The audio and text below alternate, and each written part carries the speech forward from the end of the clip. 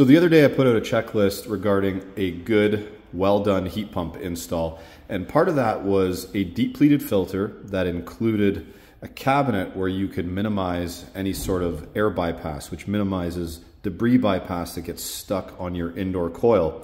I mean, this rings true for air conditioning as well, but it was based on heat pumps, the post itself. So this is a 1310 cabinet, and this is a 310 media from AprilAire. It's a MERV 11 and it's 20 by 20 by 4 inch. So one of the good things about a media that has a deep pleat is that the pressure drop is lower. So I was told here that this one has at 800 CFM it has 0.1 inches of pressure drop. That is pretty good when it comes to a media filter. So this is McCreadie HVAC and Refrigeration Services. This is my one-man operation, HVAC and refrigeration service and install. Now I'm using Jobber for the last almost two years as my CRM. Keeps me organized. I quote from it, I invoice from it, I keep track of my money.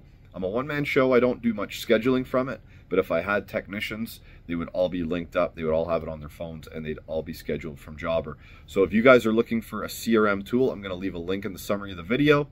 You get a two-week free trial and some savings. I think it's 20 or 30%, something substantial like that over a few months. So check it out, guys. So this filter opens up like an accordion, okay? And the reason that we have minimal bypass around the filter is because the filter gets installed on these tracks right here. The bottom and the top of these filters both have plastic pieces that line up with the metal track inside of the frame. So this end here, as we insert the filter, is gonna butt up against the back of the frame, and that is to prevent bypass on the sides. And then we have our cover that has this foam padding around it, and that is gonna prevent bypass on this side. And I'll show you, I'm gonna slide in and show you what I mean.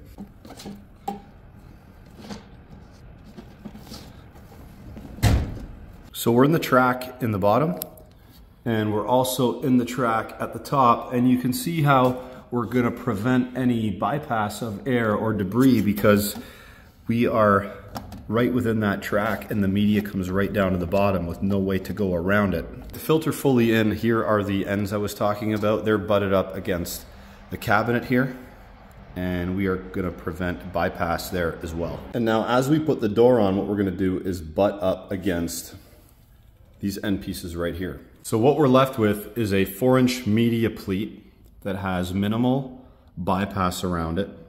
So we're gonna prevent any dirt and dust from collecting on the coil. Dirt and dust on the coil also contributes to drain clogs. So the cleaner you keep your evaporator or indoor coil on a heat pump, the less chance you're gonna have of clogging up a drain as well. Happy HVACing guys.